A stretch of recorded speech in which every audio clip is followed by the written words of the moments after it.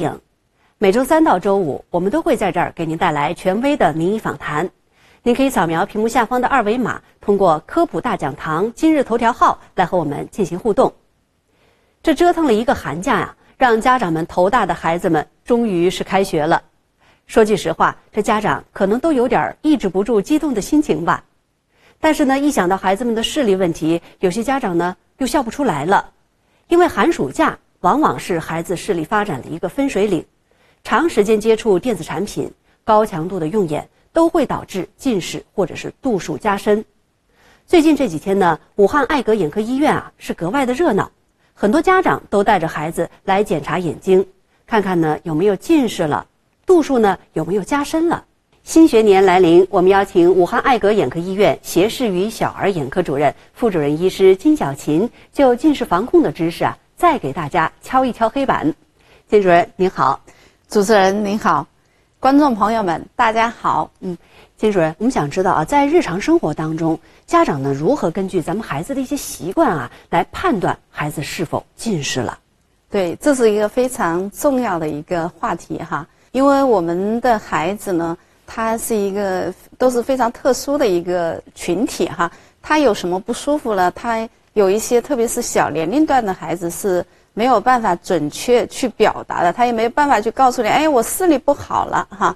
那么我们就要通过孩子的一些异为异常的这些行为方式，来判断这个孩子呢，到底他的眼睛是不是出问题了？比如说，有的孩子喜欢歪着头去看东西呀，斜着去看东西呀。眯着眼睛去瞅啊，像这种异常的行为方式的话，往往就提示孩子他的眼睛出问题了。哦，那这个时候家长就应当引起足足够的这个关注和重视了。对，这个时候呢，如果说发现这些异常的行为方式的话，建议家长呢就要带着孩子哈到专业的眼科医医院去就医来看一看哈，确诊一下这个孩子到底他的。呃，眼睛是不是出问题了？视力是不是出问题了？不过我们现在也发现一个好的现象，就是越来越多的孩子啊会建立一个视力健康档案。那国家相关部门呢也早有发文啊，要求各地区的学校去完善这个中小学生的眼部健康档案。那金主任，我们想知道建立这个视力健康档案，它为什么这么重要呢？对。现在呢，就是对于近视防控这一块的话，我们怎么去预防？其实我们重点的就是要发现这些高危的孩子啊，要把这些高危的孩子要找出来。那么我们就要早期的哈，早期的给孩子建立这个屈光发育档案。那么我们就要呃，就要通过屈光发育档案来早期的发现这些近视眼的先兆哈，来早期的去做一些呃干预。因此呢，我们就是在三岁的时候啊，我们就要给孩子做视力健康方面的检查，给他建立这些屈光发育档案。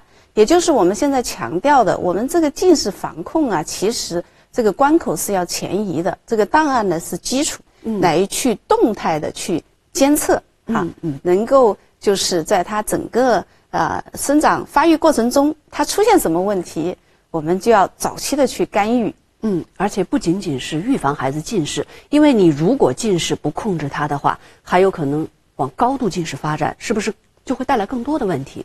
对，其实我们现在就是跟家长科普啊，做一些宣教啊，就是就是我们要预防近视，要控制近视。往往有些家长其实他不还不太就是了解我们为什么要预防近视，为什么要控制近视。其实我们现在呢，我们是想呢，就是让这些没有近视的孩子不要发生近视哈，让这些发生近视眼的孩子呢不要发生高度近视眼的。那么让这些高度近视眼的孩子呢不要就是发展成为病理性近视了，因为这就是我们现在。就是我们进行近视预防和控制的一个目标。嗯，具体来说的话，像高度近视都有哪些危害？还有您提到的病理性近视。对，这高度近视眼的话，其实对于我们的这个整个眼球的结构来说的话，都是有影响的。哈，那么我们近视了，那么它的高度近视，它的眼轴就会增长。那么眼轴增长的话，那么它的视网膜就会变薄。往往呢就会出现视网膜的裂孔，因此就会发现发生呢这个视网膜脱离的问题。所以说，往往很多高度近视眼的孩子，那么他的这些像体育活动啊这方面都会受到一定的限制。那么将来他的工作也会受到一些限制。嗯，还有呢，高度近视随着年龄的一个增长的话，到四十多岁、五十多岁的话，他有可能也会出现黄斑变性啊这些啊这些这些致盲的一些可以说是，影响自己一生了。从这个学习、工作到以后的中老年的生活。对，所以说现在为什么国家这么重视哈？嗯，哎，您前面提到病理性近视，它也是由这个高度近视引起的吗？对，因为我们其实就是在高度近视眼这一块的话，它有单纯性的近视啊，单纯性的高度近视，有病理性的近视。那么百分之九十五的呢，还是属于这种单纯性的，嗯啊。百有百分之五的人呢，他因为高度近视，他就会逐渐过渡在病理性近视。嗯，那么病理性近视呢，它主要就是说我们一般年龄不长啊，但是他的眼球还是在不断的增长。哦，他可能六十岁、七十岁，他的眼轴还在增长。还在长。哎，所以说像这种情况的话，它就是病理性近视。如果发展成病理性近视的话，那么它的整个哈，整个那个。眼底的话就会出现一些变性啊、萎缩呀之类的一些呃一些问题，因此呢就出现致盲的啊这些这些问题。所以防控很重要。那防控真的能够防止和控制这个度数的发展吗？这个还是还是有希望的哈啊，啊就是这个近视防控呢，它这这一块其实呃需要社会各界的一些支持，家长的一些重视。哈还有呢，我们这个医疗机构哈，医这个医生的一些帮助，其实共同努力的一个结果。所以说，我们以前的话，其实提到的就是呃五位一体的这个去去防控，也就是说呢，就是需要我们各方面的力量来集中去做这件事情啊，是还是非常有啊希望的。特别是国家对这一块哈。儿童青少年的健康这一块又非常的重视，视力健康这一块又非常的重视，嗯，所以说如果产生合力的话，还是非常有希望的，嗯。其实现在有些家长都或多或少了解到这个远视储备了，那都非常就是就是把这块都宝贝着，觉得是这个眼睛的保护金。那远视储备越多，就对孩子的眼睛啊，这个近视的这个来临，它推得越迟。所以，那么怎么样去保护咱们这个孩子的远视储备？其实这个远视储备这个概念哈，其实在今年呢，在临床中与家长交流的时候，是经常能够从家家长的嘴呃，就是口中说出这个词。嗯，其实对于我们大夫来说的话，哎，我觉得还是非常的欣慰的哈。就我们要看这个孩子的远视储备，他与他的年龄是不是匹配的。比如说一个五岁的孩子，那么我们给他。啊，这个呃，做做完检查之后，他只有啊五十度到七十五度的远视的话，那么这个孩子的远视储备它是明显的不足的，那么他就是发生近视眼的一个高危的孩子。这个时候的话，我们呢就要就要去干预，特别是要注意就是啊整呃就是用眼的一些习惯的一些问题，因为现在近视最大的因素这个因素还是环境因素，所以说呢。就是就是第一就是要加强户外活动哈，嗯，每天呢要坚持两个小时以上。那么第二个呢，就是要减少啊这个近距离的用眼的一个时间的一个问题哈。还有呢，就是还有一些孩子这个也要注意呃这个写作业啊，这个呃这个握笔的姿势啊，就是不能歪头斜脑的哈啊这些注意这些环境因素。那么我们就要保护我们的这个。远视储备，我们的远视储备呢，就像银行的余额一样的。如果我们用的太多了，消耗的太多了话，它的这个余额就少了。那么总有一天这个余额就没有了，没有的时候，它就逐渐就过渡到近视这方面。一般有多少余额啊？刚出生的新生儿就自带远视储备吧？哎，对的，就是我们在十岁以前的孩子，他都应该是有远视的一个状态。每一个年龄阶段。他的远视储备量是不一样的啊，它不一样，它是会自己增加或减少。呃，不是的，就是每一个年龄阶段的话，它都有它匹配的这个远视储备量的。哦，就是出生的时候是最高的，慢慢的越来越消耗掉，对对到正式，呃，正式之后再过渡成近视。对，因为我们零到十岁都属于一个远视的状态，嗯，那么十岁属于一个正视的状态，正视化的状态。十岁以后，逐渐逐渐就会过渡到近视这一块。那其实我们还最近听到一个新词儿啊，叫做鸡尾酒理念。什么是近视防控的鸡尾酒理念啊？到底起到一个什么作用啊？对，就是我们也可以看到哈，有一些专家哈做科普的时候啊，就提到鸡尾酒。可能我想他们就是用这个词的话，让家长呢更能够理解一点哈，理解一点。它是不是根据像鸡尾酒的颜色不同，也是分层进行一个逐步的一个管控？对，所以说，比如说一个近视的一个孩子的话，那么他已经确诊为真正近视了，那我们首先还是要。这些这个光学的干预，光学的干预的话，还是一线的这个控制的一个方案。那么我们如果说发现我们一线的办法，哎，这个孩子度数还是长得还是有点快的话，我们可能会结合二线的一些干预措施。所以说，我们所说的就是说，不是一个单一的因素，就是对每一个孩子哈，都是他的近视都控制的是非常好。那么我们可能在这个动态监测的过程中，给予一些啊综合的一些。这个干预的一些呃方案，嗯，这些解决方案。哦，这就好像这一杯鸡尾酒，不同的颜色代表不同的这种步骤一样，是这样。对对对，嗯对，可以说是这样，循序渐进，反正就是一种呃综合的，就是结合的一种办法。前面你也提到了，就是要尽早的介入，去干预，去了解孩子的视力的一个发展，也就是说，我们要把握好这个介入的一个黄金时期。但是，我想对于每个孩子来讲，可能这个窗口期还不太一样。我们怎么在这个黄金窗口期去做好关于自己孩子的一个视力防控？是不是有哪些信号？其实我们所说的黄金期呢，也就是我们孩子这个视觉发育的一个敏感期。那也就是我们为什么要给三岁的孩子就要做视力呃这个健康的检查？哎，要给他建立一个屈光发育档案。那么我们也就是在这个视觉发育的敏感期，要早期的发现孩子的一些问题。比如说，有些孩子啊，通过检查，我们发现，哎，他远视储备量与他的年龄不匹配了，那么他肯定就是一个近视眼的高危孩子。这个时候呢，我们就要给一些干预的一些方法啊。那么，如果说，哎，我们在这个建档的这个过程中呢，发现这个孩子有斜视的问题，那我们也要就是要进行干预哈，要进行干预。在三到六岁哈，这个视觉发育的敏感期，嗯啊，去。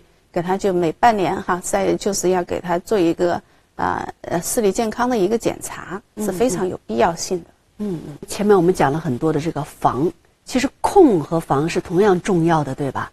因为嗯，如果说在一次确诊当中发现了自己的孩子已经是真性近视了，也就确诊是近视了，那么这个时候又有一些控的问题会接踵而至啊。比如经常就会有家长会问，哎呀，那这时候我给我这孩子的度数可能不太高。那我太早的佩戴眼镜会不会导致这个度数长得越来越快啊？那我不戴眼镜，或者是我晚点戴，会不会好一点啊？确确实实呢，就是有些家长还是存在这个误区的哈。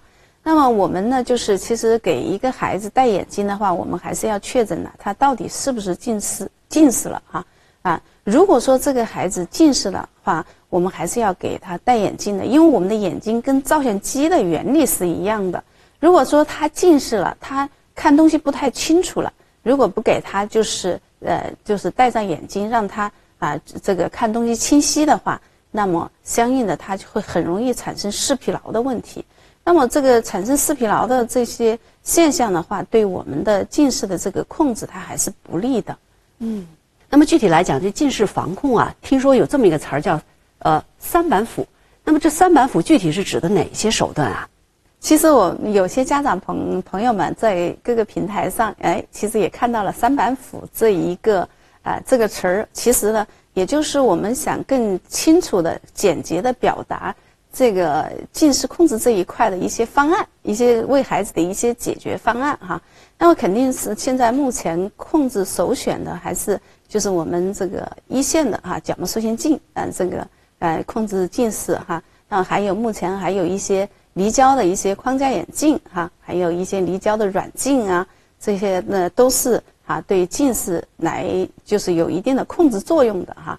第二个呢就是药物的一个一个方案，百分之零点零一的阿托品呢，现在这个滴眼液哈，啊，在在临床也也有三年的研究，确确实实对这个近视这个控制这一块还是有效的哈。那么最关键的就是户外活动哈，我们就是要沐浴阳光，每天要坚持两小时以上的这个户外活动的一个时间哈，就是对于呃近视预防这一块还是啊非常有效的。其实家里的照明条件啊，有些家长也是比较重视的，他就想知道怎么给孩子配备科学的这种照明，比如说是不是也不能太强，也不能太弱，怎么把握这个度？照明条件哈，对于近视防控这一块的话，还是也是非常重要的哈。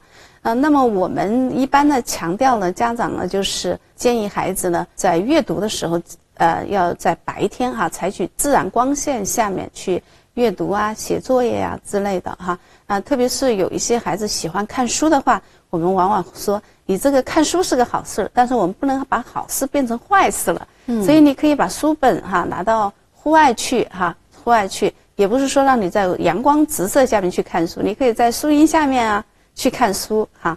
那么他这个也是哈，对他的这个呃近视这一块，它也是起到一个保护的一个作用的。那么有一些孩子的话，他做不到这些自然光线的这个这个呃时间来书写作业的话，那么我们就要给他提供啊充足的这个啊照明条件啊。那么我们。就是如果在在在家里的话，我们一般给一个背景灯，在在桌面上再放一个台灯哈，这样的话，呃，去去就是给它这个光线哈，要要充足。就是说，我们就是要达到一定的光照条件啊，亮度啊，就是呃，这样对于我们的这个就不容易，对于孩子的眼睛呢，它就不容易产生这个视疲劳的一个问题。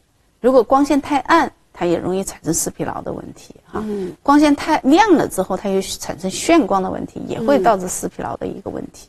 那近期呢，我们也了解到了，武汉爱格眼科医院呢是荣获了武汉市临床重点专科。那金主任，我们想知道啊，这对武汉市的近视防控有着怎样的促进作用呢？对的，我们今年呢荣获了武汉市临床重点专科，呃，这也是行业对我们的呃这个专业技术的一个认可啊。嗯，在近视防控这一块的话，我们会呃提供全方位的近视防控的一些解决方案的，特别是在近视控制这一块哈，我们一定会给予一些精准的、个性化的、综合的一些防控措施。那么我们是要解决，就是既要让孩子看得清楚，又要让他的近视度数能够得到有效控制。想要孩子有一个好的视力，更重要的是取决于他的用眼习惯和保健意识。所以呢，大家今天一定要记住啊，咱们金主任给我们提供的这些建议和科普了。更多的健康知识，请您关注科普大讲堂。今天的节目就是这样，感谢金主任做客我们科普大讲堂，谢谢您，也感谢您的收看，咱们下期节目再会。